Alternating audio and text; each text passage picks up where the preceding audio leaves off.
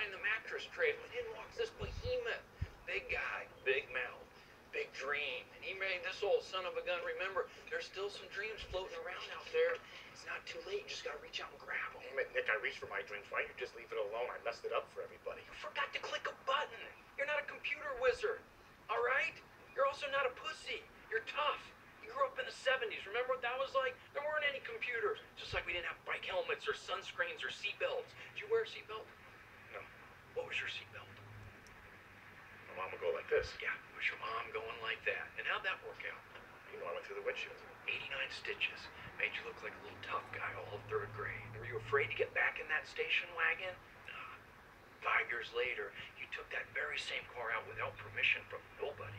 Not your parents, not old man Law. It's just you and Sally Moran parked at the point, working on your night moves. Didn't even know if you were doing it right. Where are you going with this thing? I'm saying life is that station wagon. All right? And yeah, sometimes it's gonna throw you through the windshield. Crackers go wide open. Maybe even break your heart.